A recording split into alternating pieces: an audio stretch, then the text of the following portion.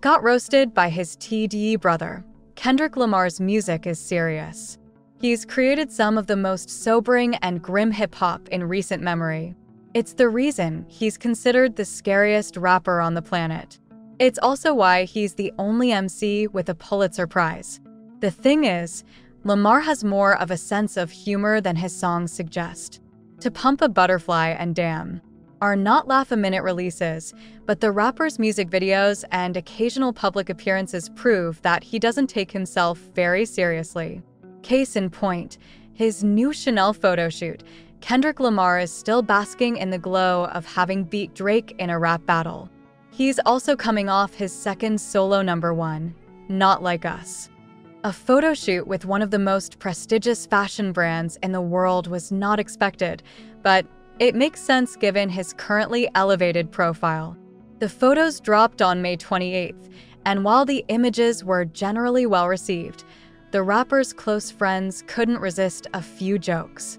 Punch, Dot's former executive producer at TDE, texted the rapper and asked him, What you doing, dog? with a laughing emoji.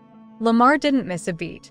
He sent back crying emojis before writing, I think I'm cute on there, man. Couldn't resist. Kendrick Lamar claimed he looked cute, and his shoot punch doubled down on the jokes.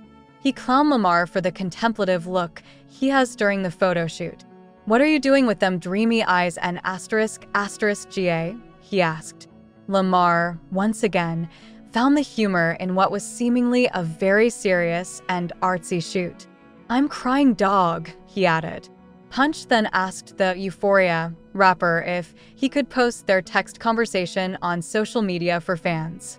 We don't see the response in the screenshot, but based on the fact that we're seeing the screenshot, it's safe to assume that he gave approval. Kendrick Lamar has been quiet since the release of his last Drake diss. There were rumors that the rapper was gearing up to release an album in May, but the month came and went without additional music that generally takes a long time between albums. This is what made the rollout of multiple diss songs in the span of a couple weeks such a shock to the music world. All we can do is hope that the rapper decides to keep the momentum going and bless fans with a release sooner rather than later.